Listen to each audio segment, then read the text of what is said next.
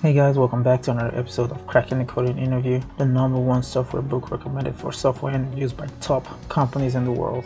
Today we're going to be solving a problem called string compression. So feel free to pause the video to read through what the problem is asking for. I find the examples more descriptive. So given a string, in this case, something like this, okay, where we have A appears twice, B appears once, C appears five times, A appears three times, blah, blah, blah. We want to if we're given this, we want to return this, which is a compressed version where each character shows up and the number of times the frequency of occurrence shows up next to it. So A is twice, B is once, C is five, A is three times. But we only want to return this string, this second string, which I'll call S2. If S2 happens to be shorter in length than S1, that's the only case where we want to return it. Without further ado, let's go ahead and kind of explain how we are going to solve it. So first I'm going to create S. So let's use a input.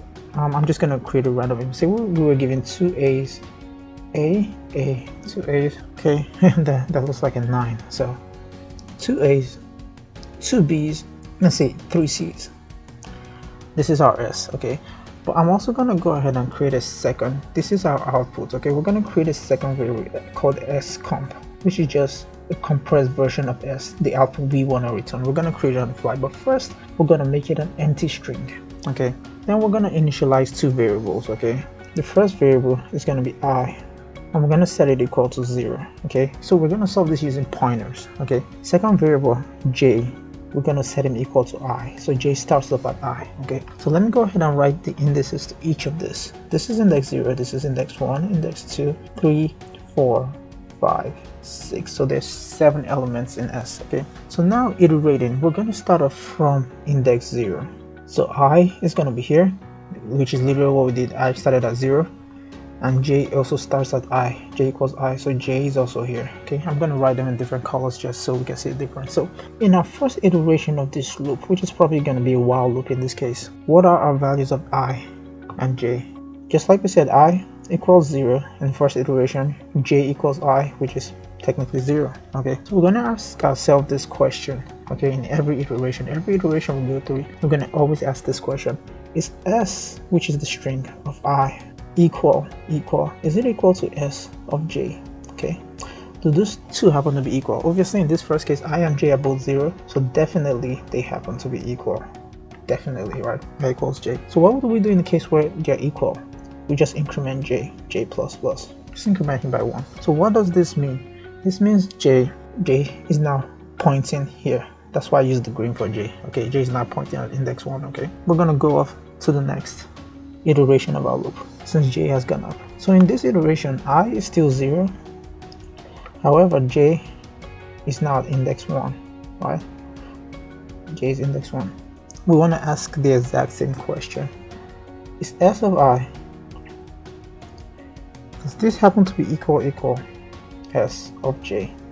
Obviously, s of i, which is this guy right here, because i is pointing here, s of j, which is this guy right here, because j is pointing here, they're both a's, so this is a yes. In the case of a yes, again, we just increment j. So what does this mean? This means j is now pointing right here. We can go ahead and get rid of this first pointer. j is now pointing index 2. Okay, so let's go on with our loop iteration okay now i still at zero. I hasn't moved yet but j is not indexed to okay ask the same question. Is s of i equal equal s of j? In this case obviously j is now pointing to b but i is pointing to a.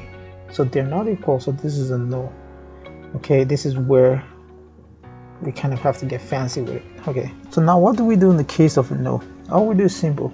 It's time to append to our S comp. So what are we gonna say? We're gonna say, in this case of a no, we're gonna say S comp. Compressed S is just equal to the previous value of compressed S. Okay, his previous value plus S of I, okay, currently where I is at, plus the string casting of J minus i. This is j minus i. This is what we do. Okay, so in this case, what does that happen to be? S of comp was previously an empty string plus s of i. What is s of i currently? S of i is still right here because i is still pointing to a. So s of i is a. Okay. Now plus str j minus i. J is 2 i is 0 2 minus 0 is 2 so this becomes a 2 okay so what do we do after this? All we do after this is just set i now equals j okay? I becomes equal to j. So what does this do? Essentially this moves setting i equal to j essentially does this. It moves both i and j. To the index j was on. So now index 2 i has moved here and j is still here just like it was okay? So now we'll move on to the next iteration of this loop okay? In this iteration i equals 2 j equals 2 keep in mind we just said i and j equal in the prior iteration right? We asked the exact same question is s of i equal equal s of j? Okay obviously i and j are equal so s of i has to be equal j so yes. What do we do in case of yes? Increment j. So we do. So this just means now j is pointing to this guy okay? So i'm just gonna rule a line here just so we can keep our solution on one page. And now we go on to the next iteration of this loop. In this iteration i is still equal to 2 but now j has moved to 3 okay now we ask ourselves the exact same question again. We always ask ourselves this question at every iteration. Is s of i is this current character equal to the character j is pointing to? Okay in this case yeah they're both b's right as you can see i and j are both b's so this is a yes for us what do we do in the case of a yes? Okay, in the case of a yes, we just increment j. So all this means is j is no longer pointing at 3, but he's now jumped to point at 4. Okay, so now we're going to go to the next iteration, okay? So, same. In this case, i hasn't moved yet, i is still on 2, but j, however, is now on 4. Ask ourselves the same question, is this i guy equal to our j guy? Okay, obviously not, right, because j is pointing to c, is still on B. So this is a no. So like we did before, no is a tricky situation. What do we do? We define our S comp.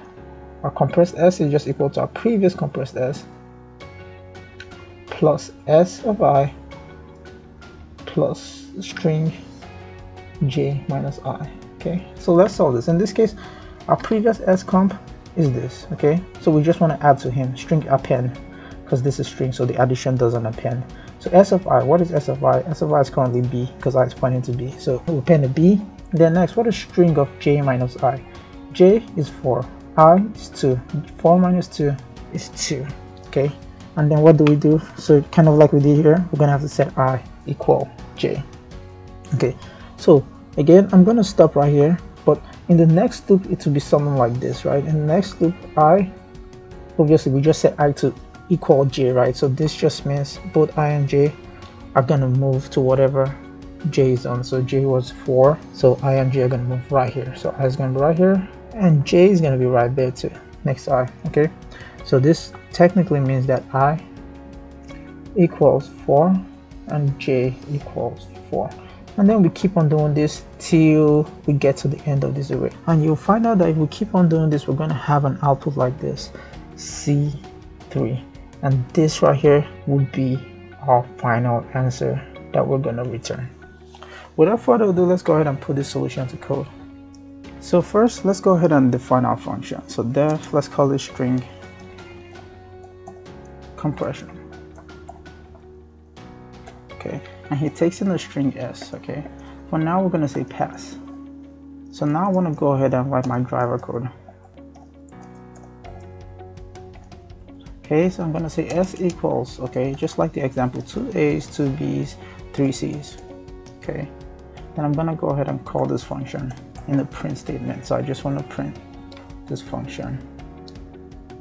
Okay.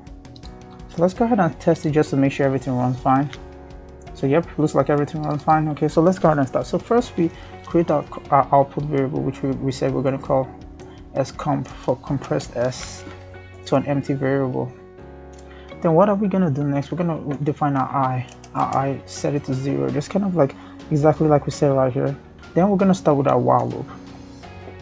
See while i is less than the length of s just to make sure we never go out of bounds okay then we're going to do what we said here. We're going to set j equals i. So j is going to be equal i.